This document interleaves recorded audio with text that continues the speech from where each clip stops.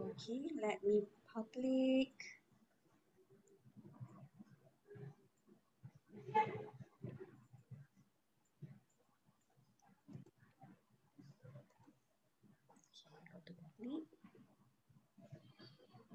Alright.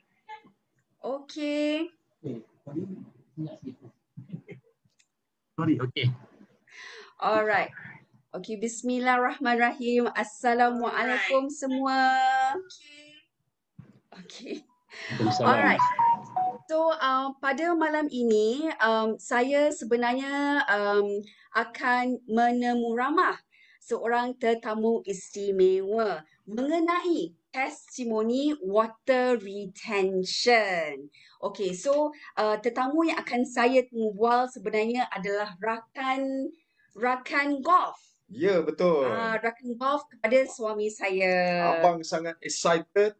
Ya. Tapi sebelum tu, Abang Bebel bersiaran kembali.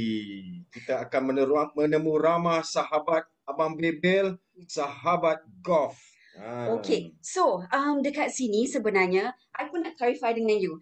Uh, nama Abang Zul sebenarnya apa? Tan Sri ke apa? Apa tu TS tu sebenarnya? TS Zulkifli. Kalau orang yang tak tahu, dia Ha. akan panggil dia Tan Sri Zulkifli. Ha. Dia pun Tapi Amin. memang ada gaya Ya, lah. Amin. Memang ada gaya. Memang ada betul. gaya Tan Sri. Hmm, aha. Okay, tapi sebenarnya TS tu stands for? Technologist. Wow. Macam IR, Okay. uh, Insinyur, uh, Alright. sama. Uh, tapi dia ni untuk pakar teknologi. Jadi Pakar kita teknologi. sebenarnya ni menemu, Hmm, Seorang yang kawan hebat Abang lah. Bebel hebat sangat Orang yang sangat hebat. Hmm. pakar teknologi. Wow, Ah. wow. Iaitu kita panggil TS Zulkifli. Betul. Saya panggil Abang Zul lah.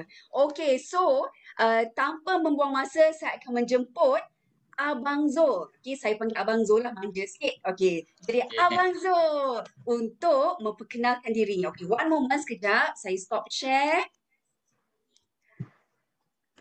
Okay. Here, here you go Abang Zul. Selamat datang ke studio kami pada malam ini Abang Zul. Okay, selamat datang. Terima kasih. Fareha and my golf buddy, Ime. Thank you brother. Okay, Ime. Ime ni memang kawan golf saya. Aha. Tapi selalunya kalau main golf dengan dia memang tension lah sebab dia ego. Dulu orangnya ego and then selalu duk ajak kita batting saja kan. Jadi kalau kita tak batting memang kena kutuk. Jadi eh, memang ego lah dia. Oh, singgit. Allah, come on.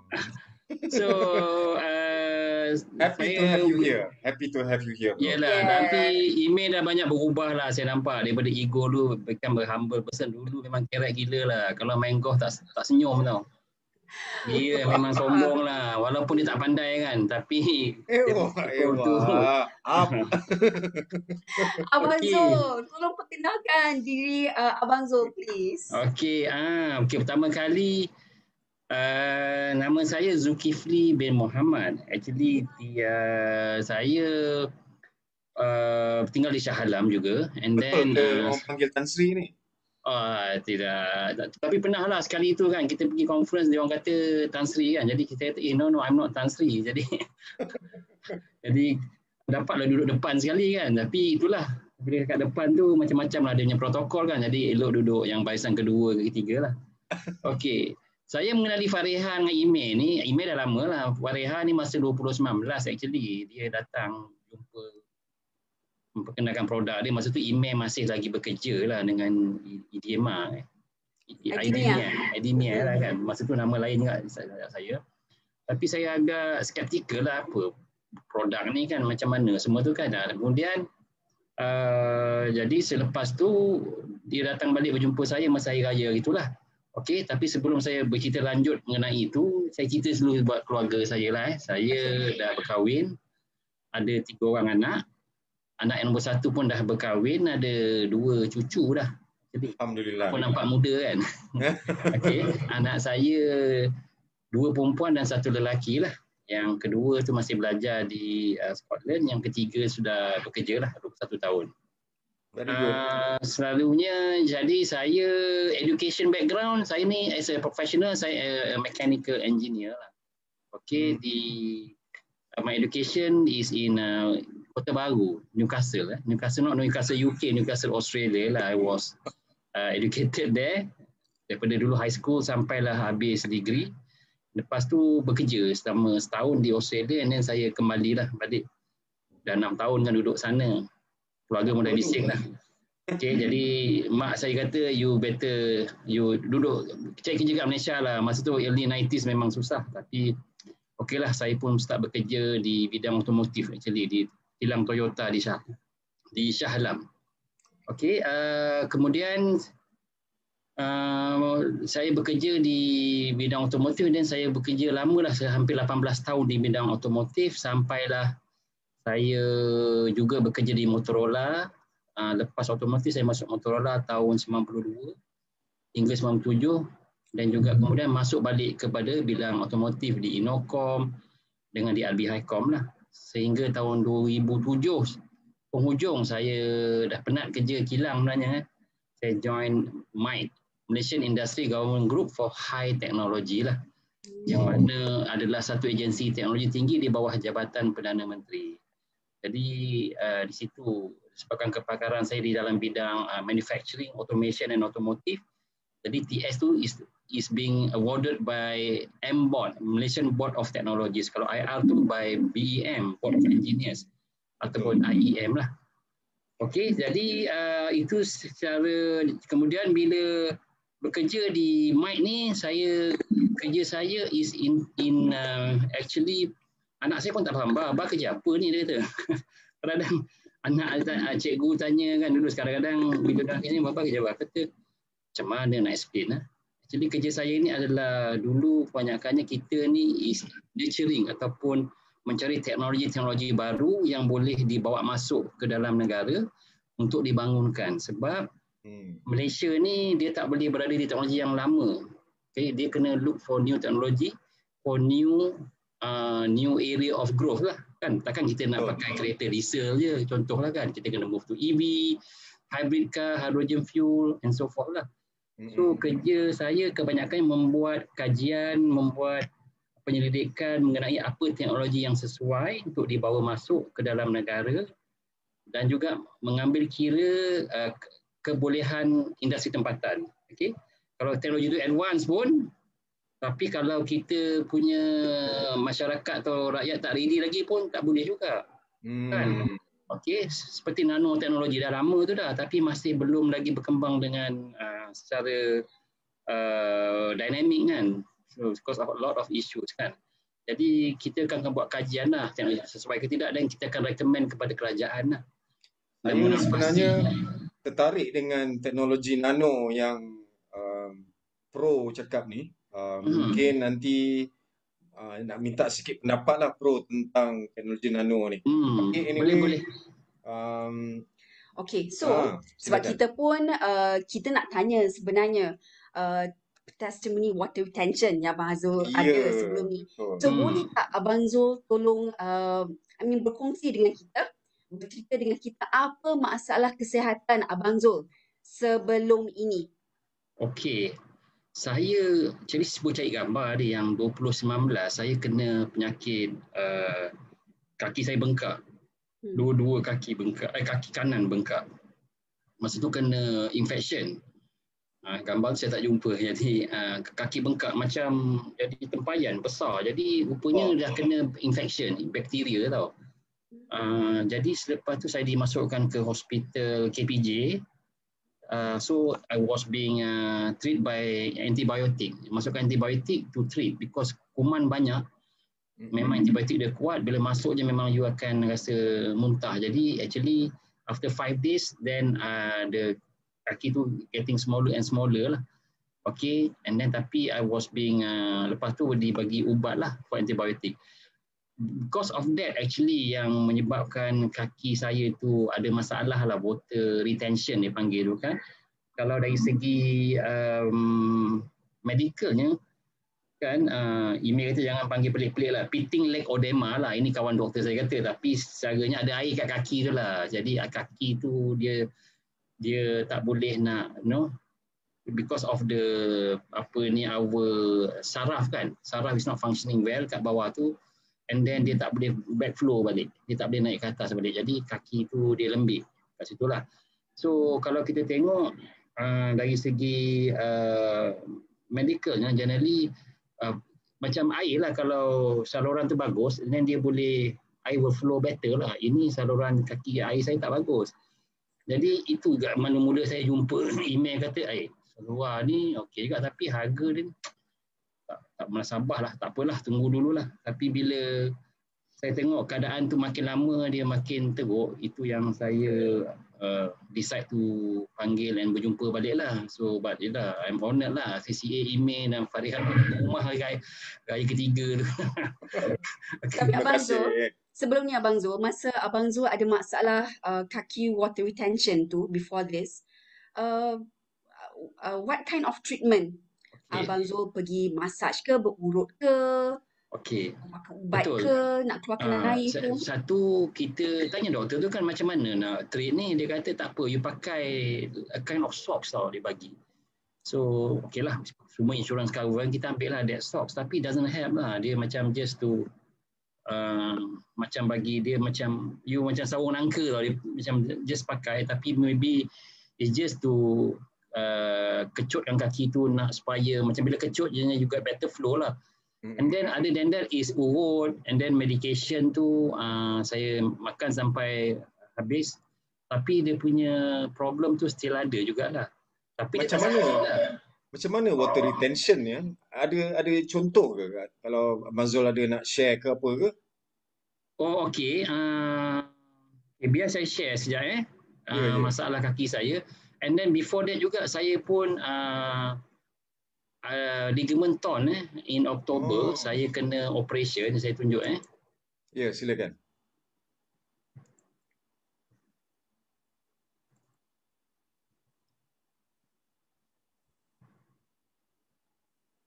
Kita tekan share screen dan kita Nak select. Nampak ke share screen? Belum. Belum, belum lagi. Belum lagi eh. Ha. Sekejap ya. Sebentar ya.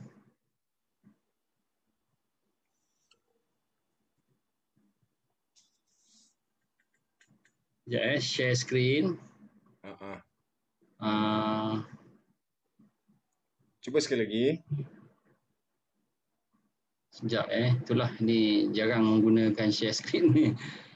Uh, mana tadi ya? Lama file tadi tu dah aku dah tutup lah. Kejap. Gambar yang kan first first gambar. Ah, sekejap eh. Tak apa, sure. Tapi sementara sementara ah, okay. tu um, macam mana trip kata tadi dia pakai stokin tu eh? Ah, stokin macam biasa je. Dia macam like uh, stokin uh, apa ni? Ah, you kena buka gambar tu dulu. Ah, uh, nampak ke? Nampak? Nampak? Okay. Ah, okay. Start, kan? Start your uh, ni presentation. Alhamdulillah. Boleh lah. Ah, okay. Nampak eh? Ya, yeah, yeah. Sorry lah. Baru first time eh. Second time selalunya staff buat kan. Jadi okay.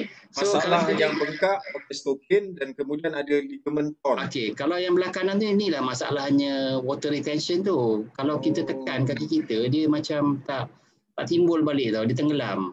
After some time dia akan back to normal lah because of the water backflow tu ataupun masalah uh, saliran darah kita kan yang naik ke atas macam bila saya dengar BE punya talk ni kan they state that your leg is your second jantung. Jadi memang is true lah.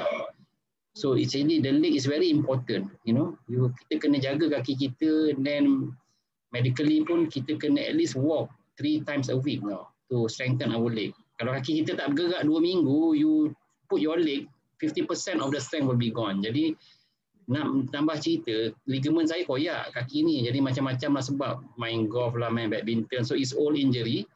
Jadi saya kena operate uh, 30 hari bulan 10 hari itulah ankle. Jadi kalau kita tengok yang belah kiri ni lah, ini kaki kiri, yang ni kaki kanan. So dua-dua hmm. kaki dah kira dah jadi handicap lah. So masalah yang, dia lain-lain kan Abang Zul? Masalah lain-lain. Yang yang kiri ni is all injury. Bila you makin lama makin tua, bila ligament you koyak, dia akan recover. Tapi bila dah tua tu, dia recovery lambat. Dia koyak, koyak, koyak, koyak, koyak sampai satu taat tu, dia putus habis, dia bengkak. Ya Jadi bengkak, saya, hmm. saya suka bila kata handicap tu maksudnya kalau stroke tu you minta memang tak kasih lah. Aimee selalu kena minta stroke. Okay. Jadi bila bengkak tu uh, Fariha dengan Aimee memang sakit lah. Cuma doktor akan bagi tahu you ada dua choice. Sama ada you operate, you suffer for three months to four months, then you can play golf ataupun you boleh main golf tapi after one year, two year maybe dia akan bertambah teruk lah. Daripada situ kia you akan ada masalah yang berterusan lah. Mungkin you tak boleh main golf dah. Jadi doktor tu pun golfer. So, saya kata tak apa dah doktor, saya nak operate lah. Sebab PKP kan, jadi kaki je yang masalah. Kan, so saya kata oh, okey lah, operate lah. So operate. Tapi bila saya jumpa balik doktor dalam penghujung Disember and then dah check Januari boleh main, PKP balik. Jadi saya tak sempat nak test. Tapi saya sempat lah ada some period tu in March ke apa kan yang bila dia dah buka tu untuk main golf tapi sakit lah, sengal. Wow. Kat situ kan sengal because you have to pakai uh, ankle guard ya. Oh. Kan kat situ kan. Itulah kadang-kadang aku tengok email kau pakai seluar hitam apa ini merah main golf kan aku tengok tapi tak tahu itu Alora Pen dia pun tak share kan bini aku suruh pakai dia kata kan. Okey lah. Memang tu dia pun tak berapa Tengah fokus golf tu. Ah, tengah fokus golf and then habis tu buka kan dia online meeting online meeting kan dia kata. So selalu dia macam tu lah saya tengok kan. Imi ni sahabat golf bukan kat sini je kat Jakarta pun kita main golf sekali tu dulu. Hmm, ah. No wonder, no wonder. So oh. memang merata lah. Alright. golf trip ada sama ke Jakarta, kita akan cari masa lah nak main golf kan. Ah. Okey, jadi soalan seterusnya saya nak sambung sikit lah. Uh, selepas you rasa terkaki you ni semua macam ni masalah dan since 2019 2019 ha. 2020 ter, uh, abang Zul Operate. terbuka hati nak cuba Alora Pants on the third day, third, third day of hari raya So Betul. abang Zul panggil kita orang sebab dah tak tahan tanggung sakit dah kan kita pun datang hmm, tengok tak improvement after two years kami datang jumpa abang Zul uh, and then buat kita punya second appointment. Betul. Yeah, so yeah. Abang Zul pun, Abang Zul uh, five days five days five days after that sampailah Alora pants dan juga Alora socks. Betul. That was end of May tahun uh, ni. Masa tu uh, hari raya 13 uh, 13 Mei you all datang rumah hari Sabtu and then I terus tak fikir banyak dah kan I just order and then five days after that dua tiga hari tu selalu follow up email. Bila nak sampai barang ni dia kata tunggulah adalah akan sampai lah. Itu sampai and then uh, you know pakai on the 18 I think. 18 of May I pakai. So after pakai tu generally uh, uh, tanyalah juga macam mana nak pakai apa semua kan. So uh, and then uh, my I bought also one for my wife kan juga. Pakai my wife ada masalah ankle. Uh, masalah lutut kan? Mm-hmm. uh, kalau lutut dia dah okey dia dapat testimoni lah kan. So after 2 3 weeks itulah I I I pun uh, memang satu bukannya nak menjual barang kan tapi memang satu lenguh kaki tu hilang. Especially ada ankle kan. Ankle tu hilang and then uh, lepas tu I can also yang of course yang water retention tu I tekan. Nanti I akan tunjuk video je lagi eh uh, dia dia naik dia dia tak adalah tenggelam tu. Uh, jadi dia memang eh apa kata ni mas seluar sakti ni betul lah macam adik bebel bagi tahu kan mungkin adik. eh betul. So eh memang proven lah because I'm very technical guy generally kan kalau cerita benda ni tapi you know I give it a try kan. So itu aku tengok eh it is improving lah the blood circulation is improving air punya sengal pun hilang and then also um, I can go slow jog lah, not jogging, slow jog, slow walk kan. And then I tried 3 km sampai 6 km. So nak try main kat padang golf lah tak boleh. Jadi at least you have to walk 6 to 7 km kan main kan. Golf kan. So jalan, jalan, jalan. So dia tak sengal dah. Dulu kalau jalan depan main golf memang sengal. Sengal kan pain. So you kena rendam kaki dalam air tu kan. Bagi dia lega kan. Uh, so it is it's, it is uh, what you call it improving lah. If you are okay, I can share this video ke? Sure, sure, sure. sure. Okay, uh, let me share ni sekejap. Uh, tadi anak saya ajar how to. Aduh, the video ni tadi mana? Sekejap mana? Dekat folder. Folder, ah, okay, folder ni. Ah, nampak dah. Dia keluar dah. Ada ke? Belum. Tak, Abang Zul kena Buka dulu. buka dulu that video, pause, pause it Ah. first and then baru share that thing. Ya betul. Oh, okay. So, I stop share dulu. Betul. Okay, share. Maaf ya. So, buka dulu. So, nampak folder kan? Yes. Uh, tak, you buka play file tu dulu and then you pause baru you share screen. Oh, pause. You you stop sharing. Sekarang ni nampak folder je. You Folder stop Abang Zul. sharing. Okay, I, I stop sharing dulu eh. Sebentar ya. Bila video tu dah terbuka baru you start sharing. Stop sharing. Okay. Uh, Sekejap, I stop sharing eh. content. Sekejap eh. Sekejap, maaf. No problem. Okay, share screen. Yang video tu. Yang Abang Zul pause tadi tu. Video yang pause tu eh. Jumpa tak? Ah, mana video tu? Pergi balik folder tadi, buka. Okay, pergi Bukan, balik bukan. folder ni. You kena stop sharing dulu. Stop sharing. Okay, sorry. Stop sharing. Okay, stop share. You buka, jangan share apa-apa. You buka folder you tu. Video tu. Yang ada video. Buka folder yang ada video tu eh. Ah, Ha, play dulu kalau play boleh. dulu. Okay. And then you pause. Jangan share lagi eh. Okay, buka video tu. Okay. Dah buka dah. Okay dah. Okay, Pause. pause. Pause. Buat kat kosong. And then baru, Baru share. share. Ha. Kita pun nak Okay, sabar baru nak share screen. video ni. Share screen. Yes. Ah. Choose Ah, the ni keluar. Choose Ah, video. Choose the video. Choose eh.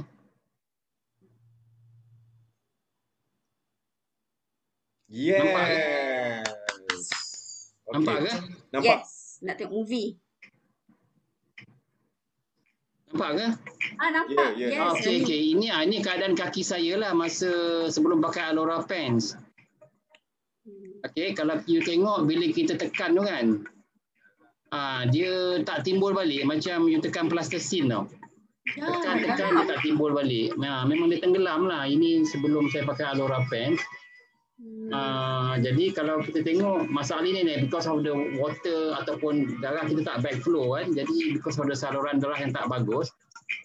Ah, kalau tengok belah sebelah sini, sikit je sebelah kaki belah sini, the, the saya punya kaki tak ada masalah. Dia boleh timbul balik. Okay? Macam getah, dia respon balik naik lah. Okay, jadi ini yang masalah kaki saya yang selalu sakit dan sengal ni. Hmm. Okay, tapi selepas dua minggu kan, saya pakai Alora Pants, dua ke tiga minggu saya ambil balik, you tengok eh. Dia dah tak dia dah tak tenggelam dah. Alhamdulillah. Ah, generally kalau tengok memang banyak improvement lah in terms of the of the effectiveness of the pants lah. So Amazing. itulah saya kata apa dah pakai baru kita tahu lah and seeing is believing lah. I think the technology is working lah because of the you know of the product lah kat sini eh. Alhamdulillah. Okay. Mhm. Jadi uh, So last question lah Abang Zul. So to uh, kepada semua penonton kita uh, yang sedang menonton kita sekarang, uh, apa nasihat Abang Zul kepada orang yang masih lagi skeptical dengan kita punya Alora Pants and Alora Socks? I think you should not be skeptical lah because you, as a technologist, I think the technology in the pants yang mana make it works, I believe because kalau kita tengok uh, the nano technology is being adopted lah dekat Alora pants ni because they use the ceramic fibers, uh, the type of ceramics tu I'm not sure. I, I dah buat some kajian tadi lah generally on Alora pants. And then also the nano, they use the nano technology and nano technology is is part of the fourth industrial revolution, uh, you know, 4IR, yang mana nanotechnology is the future technology. And then, uh, you know, BE has got a good product there where, where they are actually nanotechnology in apparels is the future of uh, what you call it, of uh, apparels. Maknanya pakaian masa akan datang akan banyak menggunakan nanotechnology. Maknanya nanti you pakai satu baju, baju you boleh tukar-tukar color contohnya kan. It's all about nanotechnology lah. Tapi Alora Pants ni dah menggunakan teknologi masa hadapan di mana the nanoparticles of the ceramic is embedded in the uh, fabrics yang mana bila dipersentuhan dengan your skin, it is where the FIR lah, far infrared will be emitted and then dia buat treatment lah to make your blood circulation better and so forth lah di mana saya merasainya lah after three weeks sekarang ni bila tak pakai tu rasa macam janggal sikit lah. Jadi uh, you know I have always put it kecuali saya tidur. Saya tidur saya rasa tak, tak selesa sikit tapi anyway stocking ni memang saya pakai. It helps me a lot on the ankle lah. Jadi Alora Pants ataupun BE has got a good product. It's a future product lah bagi saya and then uh, you know you don't have to be skeptical. Kalau you Google pun nanotechnology FIR memang ada. Dah ada dah. And in the European eh macam email eh winter clothing semua probably nanotechnology will, will, will take over lah. It's a revolution you know. Oh. Tak macam tebal lah in future the context. So saya rasa jangan be skeptical you know kita patut cuba dululah I think you know even though you know it, it works for me and I'm a very skeptical guy actually very technical you are tanyalah saya tanya email yes. soalan yes. dulu dua tahun tunggu dua tahun to convince me eh yes. uh, so so finally you know I will do more analysis and research and nanti I will come back later this ada sekarang email for filing with more uh, technology context kan yang saya akan share lah actually kan saya rasa dalam group ni banyak orang teknikal jadi mungkin kita akan share the benefit supaya uh, benda ni tak jadi doubtful lah. Okey? Insyaallah. Okay, itu saya rasa perkongsian saya lah pada malam ini. Saya nak berterima kasih lah kepada Pareha dengan Ime. So itulah kalau uh, golf course dah buka kita boleh bertarung lah pakai Alora pants and Alora top si superhero All right. So uh, it was a very good sharing, Abang Zul. Uh, such an uh, amazing testimony, I would say. So thank you so much uh, again, Abang Zul, kerana sudi berkongsi cerita Abang Zul mengenai testimony water retention dan juga uh, teknologi yang you know, to come uh, um, macam mana ya nasihat yang datang daripada you I rasa sangat sangat ya sebagai seorang teknologis uh, sangat sangat berharga hmm. ya, sangat sangat berharga. Thank you so much Abang Zul. Kerana sudi masuk ke studio bersama kami so nanti kita akan jumpa Abang Zul lagi. Okay.